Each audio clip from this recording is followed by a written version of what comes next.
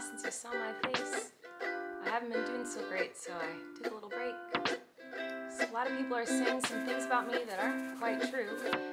Doesn't matter if it's true though, just as long as it's entertaining to you. Right? You guys having fun? All aboard the toxic gossip train.